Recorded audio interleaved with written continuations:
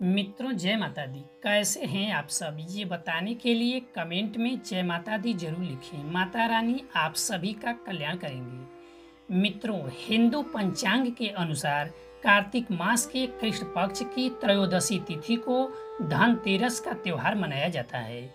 इस दिन भगवान धनवंतरी, माता लक्ष्मी और भगवान कुबेर की पूजा करने का विधान है। मान्यता है कि धनतेरस के दिन कुछ नई वस्तुएँ खरीदने का महत्व होता है। इस दिन खरीदारी करने से घर में धन का आगमन होता है और घर में सुख समृद्धि आती है और माता लक्ष्मी का आगमन होता रहता है। लेकिन धनतेरस के दिन खरीदारी करते समय कुछ विशेष बातों का हमेशा ध्यान रखना चाहिए कि इस दिन कौन सी वस्तुएँ खरीदना चाहिए और कौन सी वस्तुओं को नहीं खरीदना चाहिए। जानेंगे इस वीडियो में।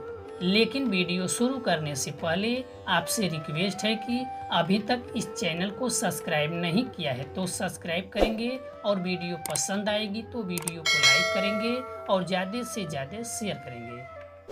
मित्रों, आपको बता दें कि धनतेरस के दिन सोने, चांदी, बर्तन, झाड़ू और धनिया खरीदना बहुत ही शुभ होता है। इन सब वस्तुओं को खरीदने से माता लक्ष्मी और भगवान कुबेर की कृपा प्राप्त होती है और घर में लक्ष्मी सदा निवास करती हैं। लेकिन धनतेरस के दिन भूलकर भी एल्युमिनियम, स्टील, लोहा, प्लास्टिक, चीनी मिट्टी के बर्तन भूल कर भी नहीं खरीदना चाहिए।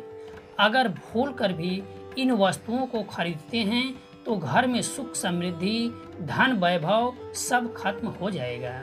और घर में कंगाली और दरिद्रता आ जाएगी।